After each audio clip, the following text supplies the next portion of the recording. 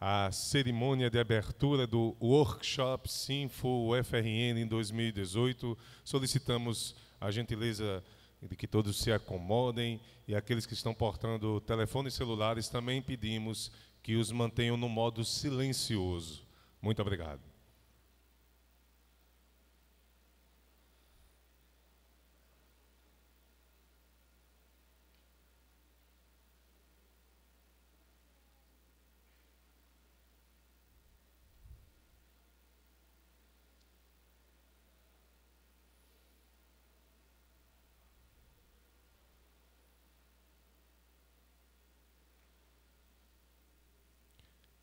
A Universidade Federal do Rio Grande do Norte, por meio da Superintendência de Informática, tem a satisfação de receber a todos para a cerimônia de abertura do workshop Sinfo UFRN, evento que tem como objetivo a troca de experiências entre as instituições parceiras na utilização dos sistemas integrados de gestão da UFRN, SIG UFRN, bem como discutir temas de modernização e eficiência da gestão pública. Nós, neste momento, teremos, iniciando a nossa programação, para uma apresentação cultural, nós queremos convidar aqui ao palco o grupo Ópera Canto dell'Arte. Vamos receber com a salva de palmas.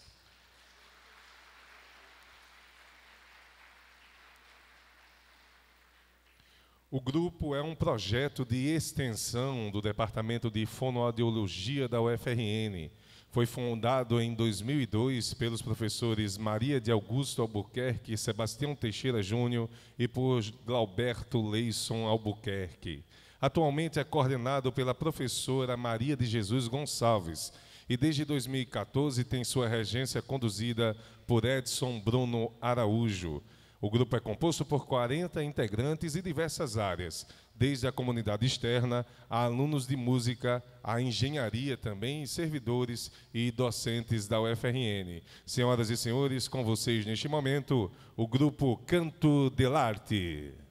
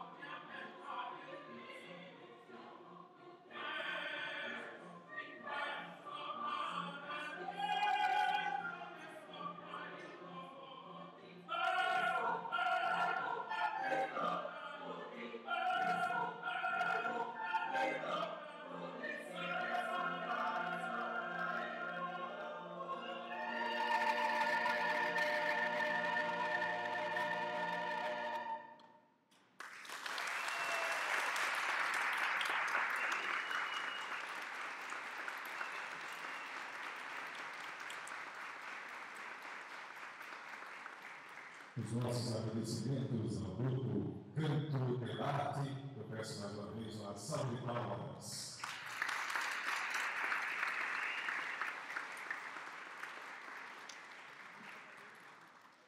Nós queremos registrar nesse momento que, para a realização deste evento, foi imprescindível o apoio de IRIX, Teltex, SIC Software, a VNB e Sistec, a quem nós agradecer. Nós queremos também anunciar que essa cerimônia está sendo transmitida ao vivo através do YouTube, do canal UFRNet Sinfo. Então, aquelas pessoas que ficaram em casa, que não puderam participar, que estão com literário também não pôde deixar presente, por favor, divulguem através das redes sociais essa transmissão ao vivo da programação do nosso evento e também os nossos agradecimentos a quem acompanha online através da internet. Canal UFRNet 5. Nós passamos neste momento a compor a nossa mesa de honra para isso, nós queremos convidar a magnífica reitora da Universidade Federal do Rio Grande do Norte, professora Angela Maria Carga Cruz.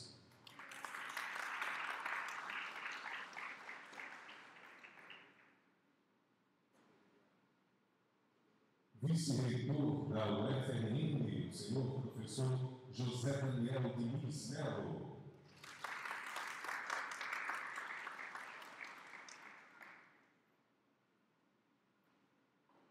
diretor de gestão de pessoas do Ministério do Planejamento, Desenvolvimento e Gestão, o senhor Vivaldi Cunha Rezende.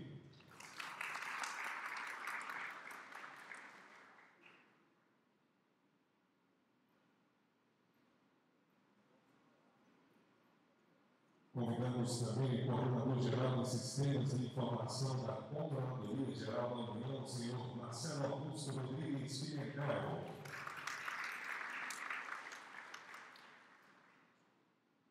a superintendente de informática na Universidade Federal do Rio Grande do Norte, a senhora professora Apoena Vieira Gomes.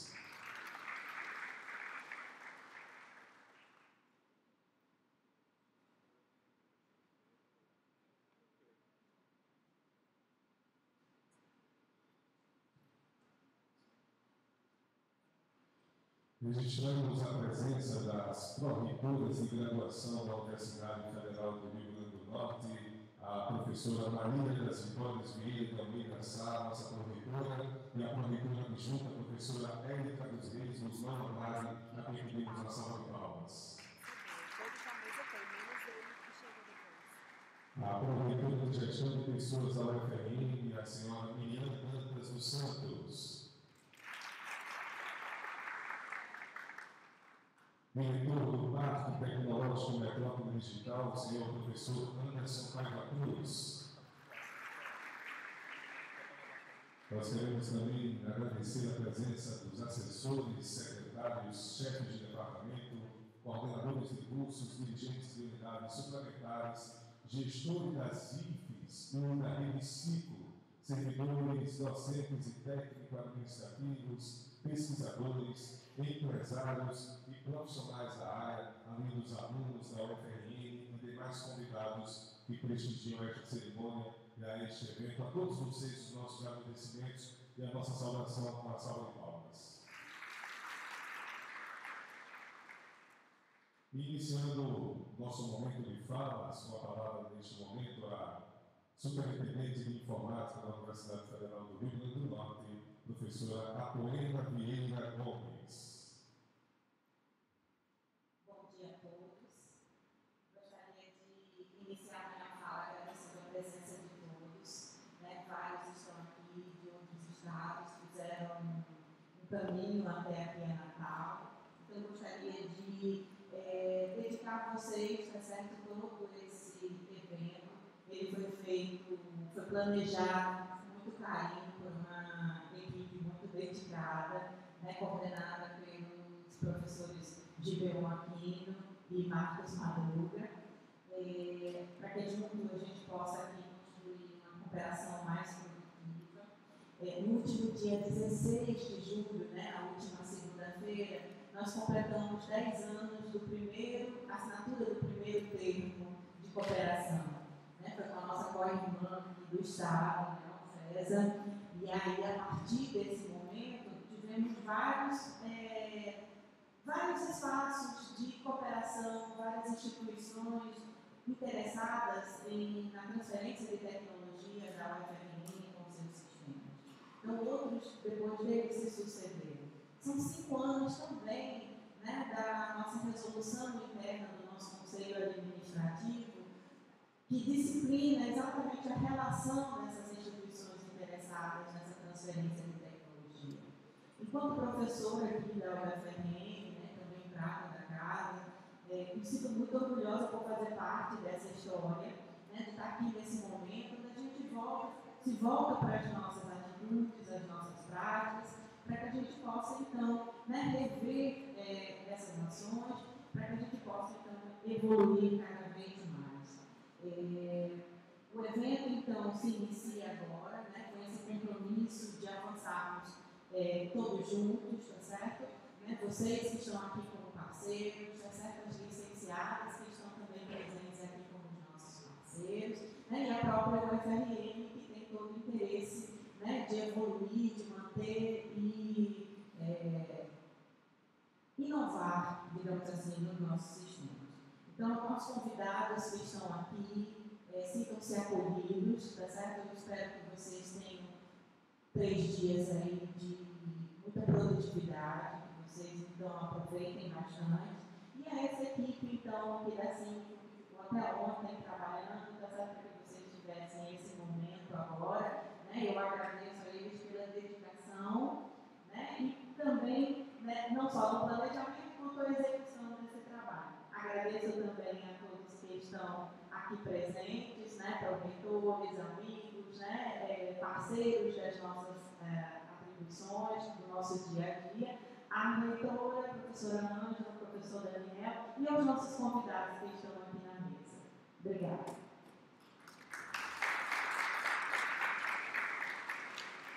Com a palavra neste momento, o coordenador-geral de Sistemas de Informação da Controladoria Geral da União, o senhor Marcelo Augusto Rodrigues Pimentel. Bom dia a todos. É, magnífica reitora da Universidade Federal do Rio Grande do Norte, Angela Maria Paiva Cruz, vice-reitor da Universidade Federal do Rio Grande do Norte, professor Daniel, é, senhor diretor de gestão de pessoas do Ministério do Planejamento, Vivaldi Cunha, e a senhora superintendente de informática da Universidade Federal do Rio Grande do Norte, a Plena Vieira Gomes. Em nome dos quais saúdo as demais autoridades aqui presentes e todos os participantes do workshop. É, bom, é, antes de tudo eu quero agradecer em nome da Controladoria Geral da União pela oportunidade de estar participando desse evento, que para nós é um evento de compartilhamento de experiências. É, nós somos um dos membros da Rede Ciclo, federal e é muito importante é, para nós estar aqui presente, é, trocando informações e experiências com essa rede. É, essa, essa de colaboração dentro do governo federal, é, para nós, a Controladoria Geral da União, é algo é, essencial, porque primeiro valoriza o conhecimento que a gente tem dentro do governo federal, que é algo super importante. E segundo, porque nós, como um órgão que cuidamos é, do bom uso do recurso público, essa, esse compartilhamento, essa colaboração nada mais é do que um uso eficiente do recurso público. Né? O conhecimento está dentro da administração e precisa ser compartilhado, difundido, seja por tecnologia, seja por processos de trabalho ou por outro item como esse. E aí eu percebi no brasão da UFRN uma divisa que é recebe para dar, né? E aí eu falei, bom, então você recebe para dar, eu vou, vou passar um pouquinho da experiência da CGU e você em breve nessa questão de colaboração. É, o negócio da CGU é informação. Se a gente não tiver informação, a gente não faz nada lá na CGU. Se a gente não tiver dados, se a gente não tiver é, as informações do governo federal. Então, é, nós temos uma longa experiência em acordos de cooperação, troca de experiências, desde é, dados, processos de trabalho, até como desenvolvimento conjunto de soluções. E aí eu vou exemplificar para vocês, é, brevemente, alguns sistemas que nós já fazemos isso hoje, exatamente nessa ideia de compartilhar a informação de vocês. Então, é, nós temos alguns sistemas estruturantes dentro do governo, dentro da calculadoria.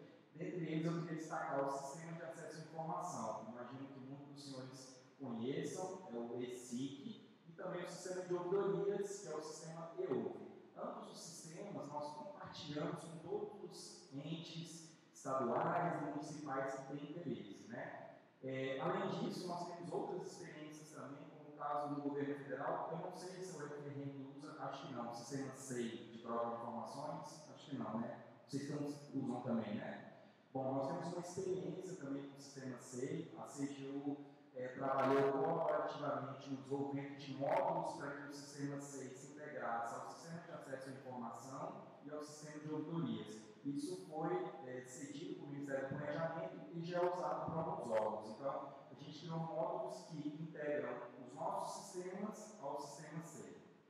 E, por fim, eu queria destacar também uma iniciativa muito interessante de colaboração que a gente fez com o Tribunal de Contas da União. Essa talvez tenha sido a maior colaboração nós compusemos equipes conjuntas de TI, os dois órgãos, e desenvolvemos um sistema de tomadas de conta especial. Esse projeto durou aproximadamente 18 meses e hoje ele integra desde o início no gestor, que precisa fazer a tomada de conta especial, passando pelo controle interno e chegando no Tribunal de Contas. Esse sistema foi desenvolvido por técnicos do governo federal, das duas instituições, além do conhecimento do Ministério do Planejamento, que foi muito importante para a gente.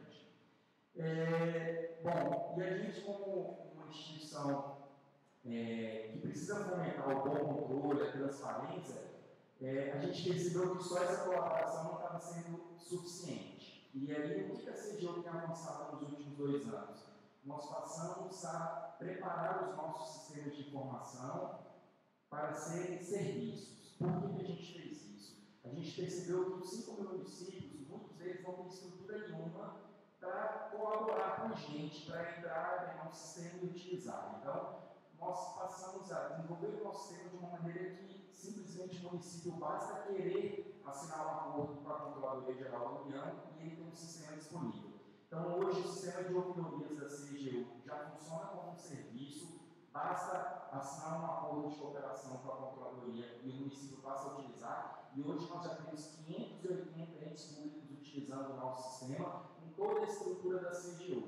Nós estamos, nesse momento, desenvolvendo o sistema ESIC de acesso à informação no mesmo modelo, então vamos é, fornecer isso para todos os municípios e estados que tiverem interesse, e um pouquinho mais longe, para 2019, um sistema de auditoria.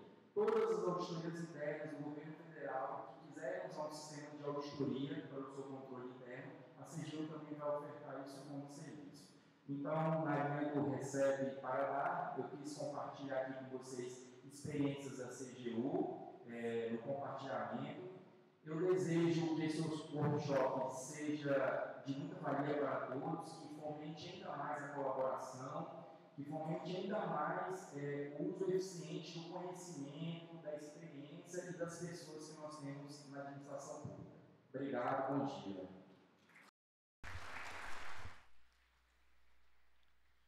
E para o seu pronunciamento com a palavra, a magnífica reitora da Universidade Federal do Rio Grande do Norte, professora Ângela Maria Paiva Cruz. Bom dia. Bom dia, gente. Depois tem um café e depois teremos uma série de conferências altamente importantes.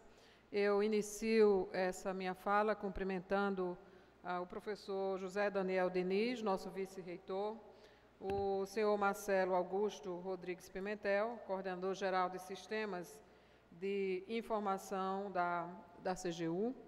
Cumprimento o senhor Vivaldi Cunha Rezende, diretor de gestão de pessoas do Ministério do Planejamento. A professora Apoena, nossa superintendente da nossa Superintendência de Informática.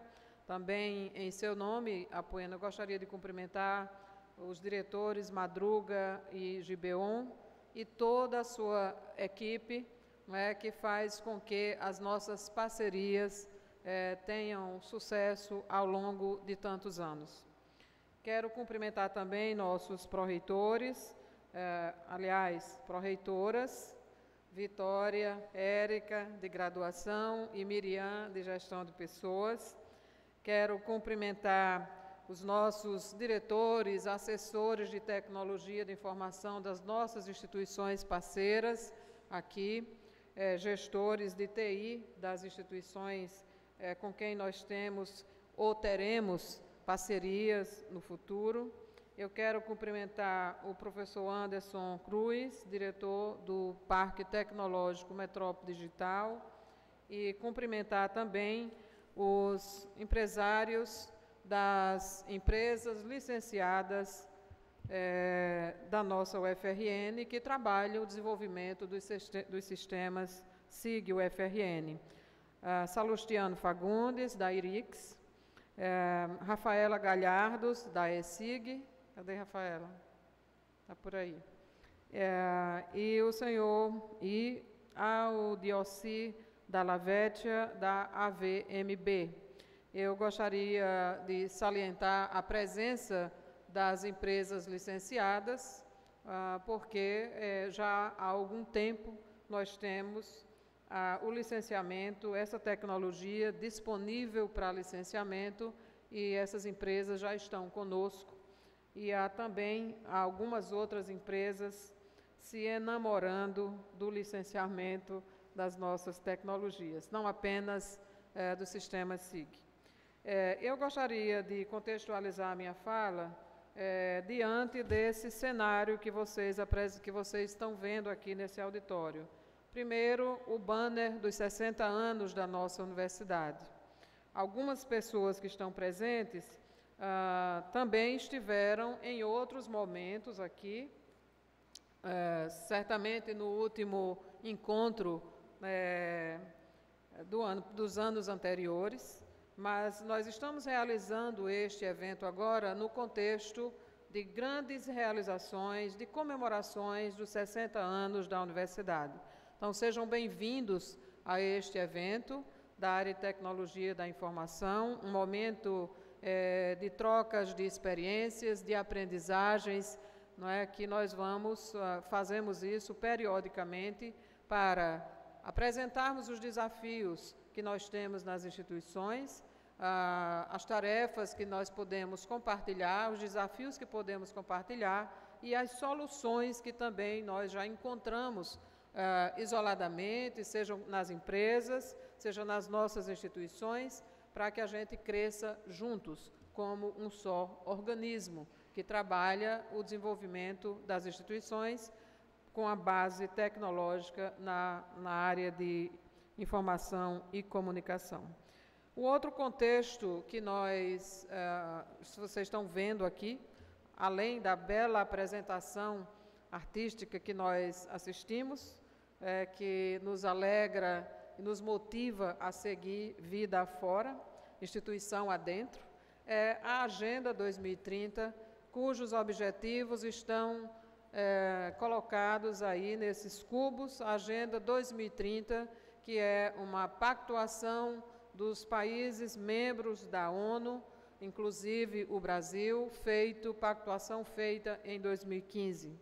É, e nós, instituições, nós, os brasileiros, temos que absorver, eleger, escolher prioridades nas nossas instituições para que, ao chegar a 2030, nós tenhamos países, uma humanidade com um futuro com sustentabilidade.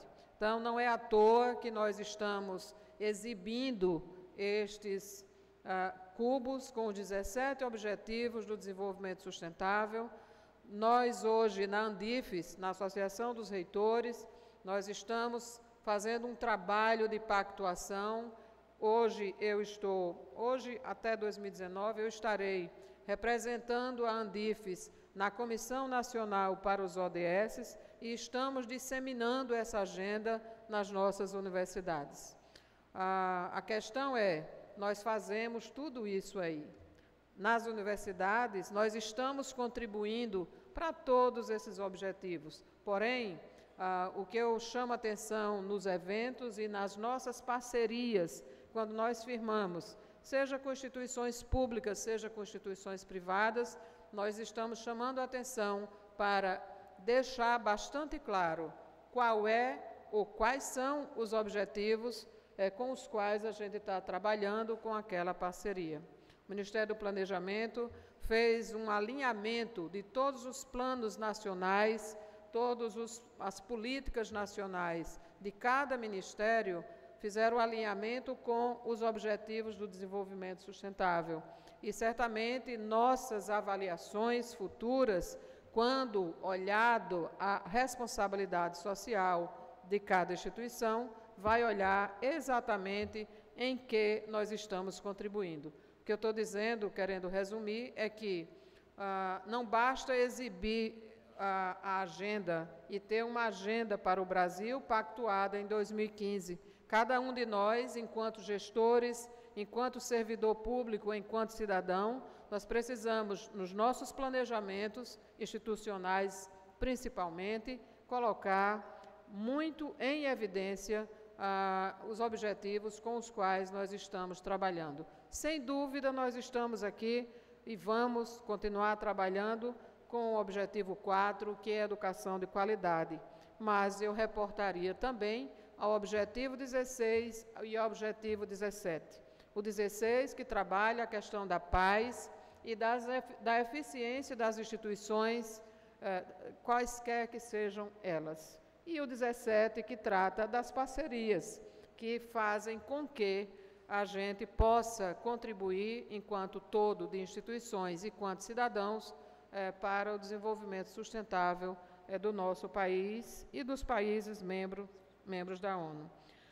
Falando exatamente dos 60 anos, eu gostaria de lembrar que, é, evidentemente, somos uma universidade em idade mediana no Brasil, algumas já têm 100 anos, mas somos novas universidades no contexto mundial, e evidentemente que nós começamos nas primeiras duas décadas como instituição de ensino e de extensão, mas preparando o terreno para ser uma instituição de pesquisa e de inovação. Evidentemente, aos 40 anos, foi quando, há 40 anos atrás, ou seja, com cerca de 20 anos de trabalho nesse Estado, é, que a UFRN propôs os primeiros programas de pós-graduação, porque nós investimos, a universidade investiu na qualificação dos seus quadros. É data de muitos anos atrás a política de contratarmos, fazermos os concursos para doutores em todas as áreas onde fosse possível. E hoje nós temos 83% dos nossos professores com o título de doutor. Hoje, a universidade não é apenas uma universidade de pesquisa, ela evoluiu para uma universidade que tem uma quarta, podemos chamar de uma quarta dimensão, que é a inovação tecnológica no contexto social e no contexto tecnológico, estritamente falando. É, nesse, nesse, nesse andar da UFRN, nessas décadas, é, a UFRN para nós sermos hoje, termos hoje um sistema SIG UFRN, com tantas parcerias e com tantas contribuições nas instituições para crescermos juntos, foi necessário um investimento. Então, há mais de 20 anos que a universidade escolheu projetos estratégicos. Um deles, a nossa Superintendência de Informática.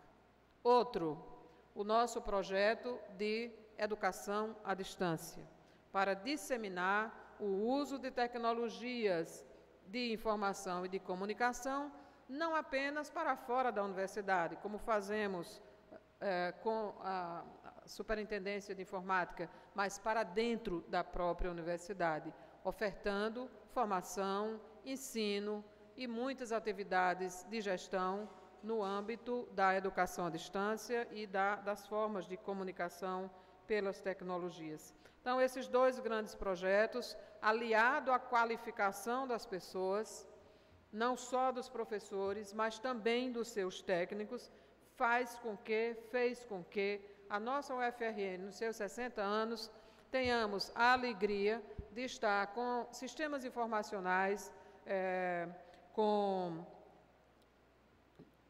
já indo para os 20 anos, né, passando dos, dos 15 anos, É, e essa área se fortaleceu tanto a tecnologia da informação que, ao criarmos o nosso sistema de incubadoras na universidade, por volta de 2012, 2013, ah, nós ah, instalamos várias incubadoras. Temos hoje cinco incubadoras devidamente registradas, mas a primeira delas e a mais forte delas foi a incubadora Inova Metrópole, que nós temos a grata satisfação de compartilhar com vocês a, a, a notícia nova, para quem não é da UFRN, de que o Estado do Rio Grande do Norte hoje tem um parque tecnológico em tecnologia da informação, fruto desse trabalho de longa data de qualificar pessoas e de organizar estruturas de governança, estruturas organizacionais, para que a gente tivesse uma área forte acadêmica, mas também um desenvolvimento na gestão pública com apoio dos sistemas informacionais. Então, é, comemoramos nos 60 anos sermos uma universidade é, de ensino, de extensão, de pesquisa, de inovação e de muito empreendedorismo. Claro que queremos é, estar melhores no futuro e é para isso que nós estamos aqui. Então, eu quero, diante desse, desse momento diferenciado que nós estamos vivendo hoje, nesse encontro com gestores da área de tecnologia da informação, é, compartilhar, lembrar também um outro, uh, uma outra novidade neste ano, novidade uh, porque eu estou me, me referindo aqui à regulamentação do marco legal de ciência e tecnologia. Uh, este é um avanço, a regulamentação é deste ano e nos ajuda muito, evidentemente, a trabalhar além do que a 8666 estabelece, e além do que a Lei de Inovação de 2004 estabelece, porque o marco legal trouxe muito mais elementos que geram segurança jurídica é, para nós que fazemos inovação é, e desenvolvemos tecnologias nas instituições. Então, nesse contexto é, de celebração de 60 anos e de marco legal regulamentado e de grandes cooperações é, com o setor público e grandes cooperações também é, com o setor empresarial, com o setor produtivo, é que nós celebramos e recebemos vocês é, para este encontro de trocas de experiências, inclusive com a presença da CGU, com o Ministério de Planejamento, com quem, é, Vivaldi? É, eu certamente não estarei presente, presente em todos os momentos deste encontro, nossos colegas aqui da superintendência, gestores, estarão presentes. Mas tenho certeza, se cada um falar com o Ministério do Planejamento, cada instituição que é parceira da UFRN, que é usuária dos sistemas, é, a gente sempre coloca para o Ministério, e essa é uma agenda que nós vamos formular novamente ao Ministério do Planejamento, é que nós tenhamos ah, o apoio do Ministério do Planejamento, posso falar em nome de vocês, não posso?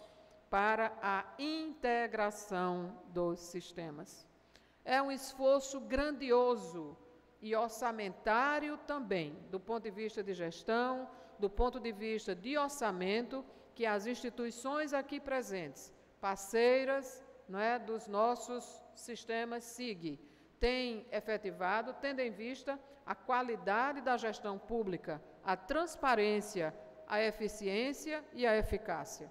Agora, nós só conseguiremos isso se a gente tiver a mão do Ministério do Planejamento, o apoio do Ministério do Planejamento, para que a gente consiga as integrações. É, por mais que nós saibamos das competências da área de tecnologia da informação do Ministério do Planejamento, em que pese as mudanças, né, que nos ministérios há muita mudança é, de pessoas, de equipes técnicas, mas há uma competência é, que o Ministério de Planejamento sempre tem, sempre teve, sempre tem, sempre terá, mas as instituições estão com esse esforço há muitos anos E a integração dos sistemas é, sem dúvida, uma pauta que nós colocamos para o Ministério é, como um desafio e um com um plano de ação para evoluirmos em várias áreas. A área de gestão de pessoas é uma delas. A, a, o sistema CIPAC, com todas as integrações, é, nós precisamos também colaborar. É, ter uma colaboração mais forte e mais contínua do Ministério de Planejamento. Então, eu vou encerrar, mas uh, a minha fala com o Ministério de Planejamento, com o Vivado, não vai ser só aqui na mesa. Fiquem tranquilos que a gente vai encontrar, se possível, com ele, um momento de uma agenda para nós trabalharmos exatamente a questão uh, do, da integração dos sistemas com os grandes sistemas governamentais. Meus caros colegas, eu agradeço à Superintendência de Informática pela organização do evento, a todos eh, os que estão aqui, os que não estão aqui, mas que trabalham, vão trabalhar o tempo todo para que nós tenhamos sucesso nesse encontro e desejo a vocês uma feliz permanência em Natal e na nossa UFRN. Se sintam em casa. Muito obrigada.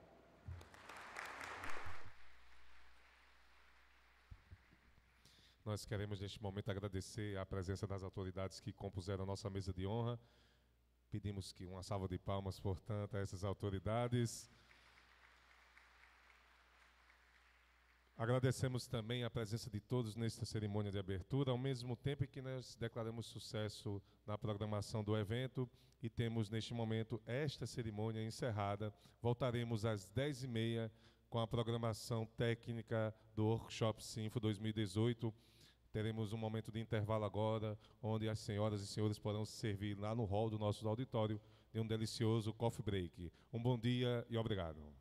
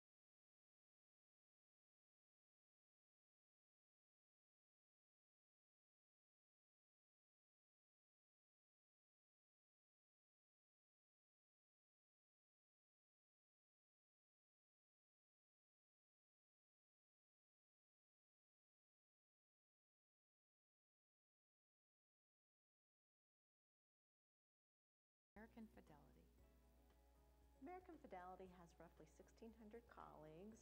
If you're happy to be part of a company and you're engaged, you're also going to be very engaged with your customer. We had been at our location for a number of years and we knew that it was time for us to expand. Our colleagues are getting more mobile, more collaborative. They like to work from home, they like to use their tablets, their mobile phones. It just made sense that when we made this move that we would look at all wireless. How does Gen Mobile connect at the largest airline in the world? American Airlines turned to enterprise networking solutions from Hewlett Packard Enterprise. American Airlines is the largest airline in the world now. We have uh, over 550 sites. We operate thousands of flights daily with operations in more than 23 countries. Our network is the conduit for all the connectivity that, that happens. So it's at the core of everything. And we've standardized uh, with HP technology on the LAN. We are confident that HP networking provides a, a platform that will facilitate the integration of applications and network and all the other aligning infrastructure to um, provide forward-looking capabilities of software-defined network. Liberate Gen Mobile from the limitations of a legacy network.